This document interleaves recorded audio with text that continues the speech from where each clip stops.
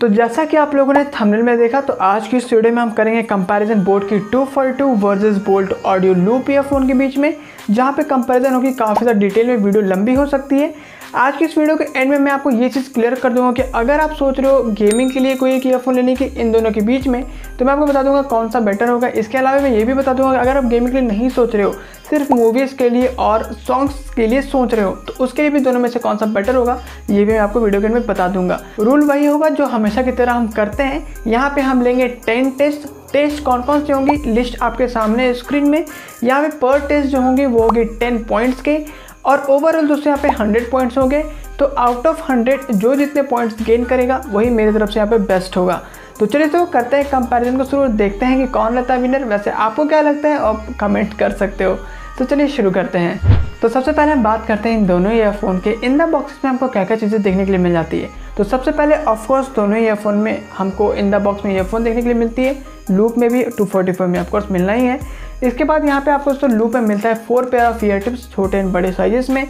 एक क्लिप भी आपको मिल जाता है शर्ट में क्लिप करने के लिए। इसी तरीके से टू फोर्टी में भी आपको मिलता है four pair of ear tips छोटे एंड बड़े साइजेस में। एक क्लिप मिल जाता है आपको शर्ट में क्लिप करने के लिए। इसके अलावा भी दोस्तों लूप में आपको वन ईयर की वारंटी कार्ड देखने के लिए मिल जाती है। सेम इस तरीके से वन ईयर वारंटी कार्ड आपको टू फोर्टी टू में भी देखने के लिए मिल जाएँगे।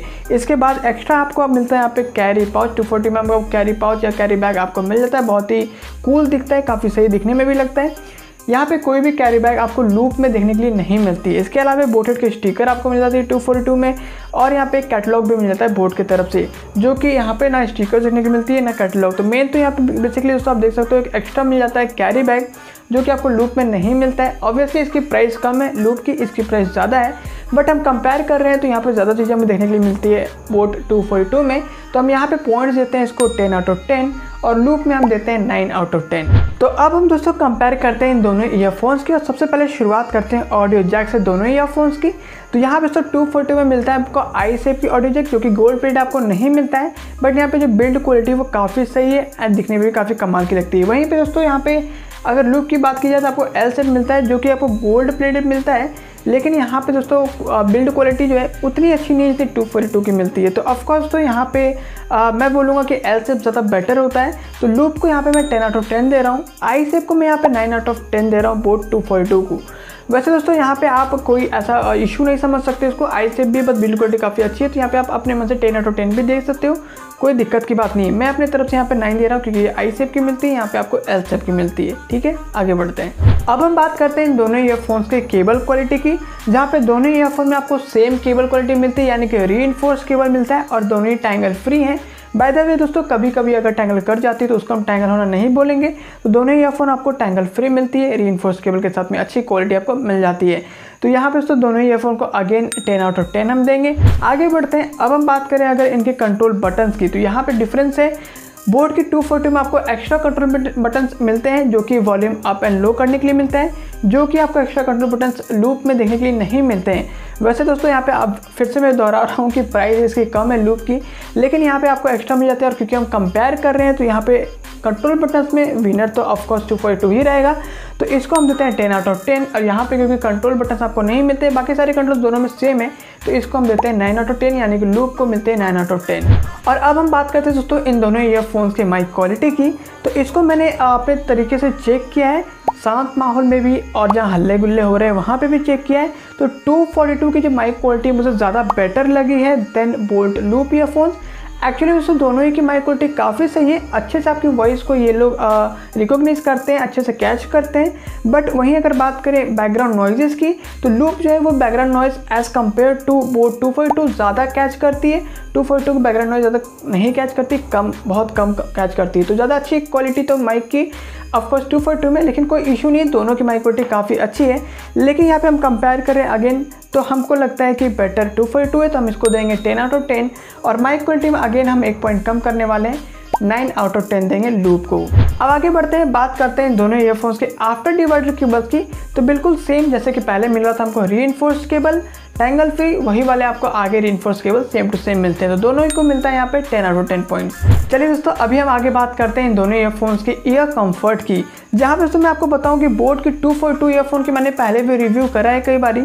जहाँ पर ना मेरे को इसकी एयर कंफर्ट पता नहीं क्यों अच्छी नहीं लग रही थी बट इस बार मुझे अच्छी लगी है। आपको पता ही है कि मेरा जो है ईयरफिन्स मुझे बिल्कुल भी पसंद नहीं आते तो विदाउट ईयरफिन्स ही मुझे कंफर्ट आई है। ईयरफिन्स के साथ में मुझे अच्छी नहीं लगती है। वैसे आप अपने अकॉर्डिंग ईयरफिन्स आप यूज़ कर सकते हो, क्योंकि वो स्नफ फिटिंग देती, वो बाहर जल्दी से निकलती नहीं है आपके कानों से। मुझे पसंद नहीं तो मैंने उसको निकाल के यूज़ किया है, लेकिन टू फोर टू की कंफर्ट मेरे को अच्छी आई है पहली बार, पता नहीं कैसे। वहीं पे दोस्तों लूप की कंफर्ट तो ऑब्वियसली अच्छी है ही। तो यस गाइस यहाँ पे मैं दोनों ही ईयरफोन्स को 10 आउट ऑफ़ 10 देने वाला हूँ। अब आगे बात करते हैं look design and build quality की। तो सबसे पहले बात कर ले अगर लुक्स एंड डिज़ाइन की तो दोनों ही में कोई खास मेरे को डिफरेंस नहीं लगती है। हाँ two four two is better looks के साथ में आती है। लेकिन गाइज़ ठीक है अपने अपने अकॉर्डिंग देखो, मैं यहाँ पे दोनों को एक जैसे ही दे रहा हूँ।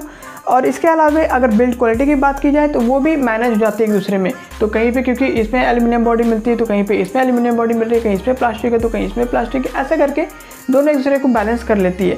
तो यहाँ पे हम look design and build quality तीनों में ही basically ten out of ten points दोनों को ही देते हैं। और अब हम दोस्तों बात करते हैं इन ईयरफोन्स की ऑडियो क्वालिटी के बारे में। जहाँ पे आगे दोस्तों बताऊँ, दोनों की ऑडियो बहुत ही कमाल की है। यहाँ पे मैं एक चीज़ ज़रूर कहना चाहूँगा, देखो दोनों ईयरफोन्स में आपको थ्री डी मिलता है। बट जो फीलिंग्स है ना, जिसमें ज़्यादा आती है फील आती है कि भाई थ्री डी एकॉस्टिक वाली, वो टू फोर टू में आती है, जहाँ पे लूप में उतनी नहीं आती है। और ये चीज़ आपको ज़्यादा मदद करती है गेमिंग के लिए। तो टू फोर टू अगर आप दोनों में सोच रहे हो गेमिंग के पर्पज़ के लिए तो two four two is more better than Loop लेकिन अगर आप सोच रहे हो एक सिर्फ़ म्यूज़िक के लिए और मूवीज़ देखने के लिए तो लूप इज़ मोर बेटर लेकिन दोस्तों, क्योंकि हम मूवीज़ गेम्स एंड सॉन्ग्स तीनों के लिए अगर कंबाइन ले लें तो टू फोर टू यहाँ पर विनर रहता है, क्योंकि इसकी ज़्यादा अच्छी मेरे को लगी है। तीनों में ओवरऑल में ओवरऑल में ये गेमिंग के लिए उतना अच्छा नहीं रहता, ये पीछे चला जाता है। और इसलिए दोस्तों, यहाँ पे मैं टू फोर टू को देता हूँ टेन आउट ऑफ़ टेन और लुक को देता हूँ नाइन आउट ऑफ़ टेन क्योंकि इसकी थ्री डी कॉस्टिक थोड़ी सी कम है। और अब हम दोस्तों फाइनली इन दोनों के टेक्निकल स्पेसिफिकेशन के कंपैरिजन कर लें। तो 242 में दोस्तों आपको देखने को मिलती है 10 मिलीमीटर mm के driver I P X four water resistance and sweat resistance आपको मिलता है। इसके अलावा आपको एक्स्ट्रा कंट्रोल बटन्स मिल जाते हैं जो कि वॉल्यूम के कंट्रोल्स हैं। वहीं पर अगर बात की जाए लूप की तो यहाँ पे आपको मिलती है 12 एम mm के driver I P X five water resistance sweat resistance आपको यहाँ पे मिलता है। इसके अलावा यहाँ पे कंट्रोल बटन नॉर्मल जो सभी एम्फोस में मिलते हैं, वैसे ही मिलते हैं। तो यहाँ पे आप देख सकते हो, एक कंट्रोल बटन ही है बेसिकली जो इसमें थोड़ा ज़्यादा है।